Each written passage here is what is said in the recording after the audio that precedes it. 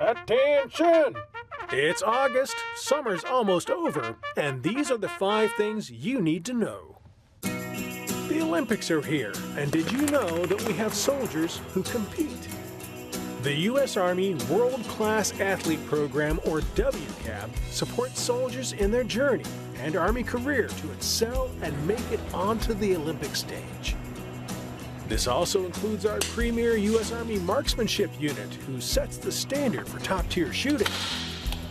Both programs support soldiers in the active, Guard, and Reserve components in their endeavors to compete and win at the highest levels. They represent excellence not only for the Army, but our nation. Army units around the world are competing in unit-level best squad competitions, with their winners moving on to compete for the titles of Best Squad, Soldier of the Year, and NCO of the Year. The week-long competition tests every aspect of a soldier's readiness and capabilities. Unit competitions will be highlighted throughout this month on social media, with the Army level competition starting at the end of September. The U.S. Army is always training, so we're ready to respond to conflicts around the world at any time. This includes conducting regional exercises through joint training and unit operations, such as Operation Pathways and Orient Shield.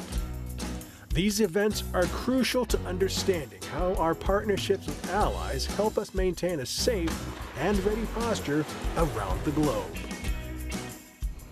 The Army continues to be ready to respond to hurricanes and wildfires so we can safeguard our installations and help communities in need.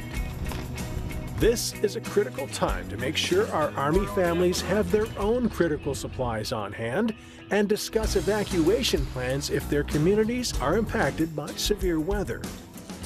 Partnerships with humanitarian agencies and training are key to how we continue to support disaster response at home and abroad if requested by partners and allies. It's back to school time. If you're wondering about all the great activities and opportunities available for your Army kids, be sure to check out your local MWR office. They've got a ton of programs on post that cater to kids of all ages. If you don't have kids in school yet or just need help with childcare, eligible families can use the Military Child Care in your neighborhood Army Fee Assistance Program. It's designed to help military families with childcare if you can't access military-based care due to distance or wait lists. And that's all you need to know for August. At ease! That's it. That's the end of the video. But don't worry, there's more just like it.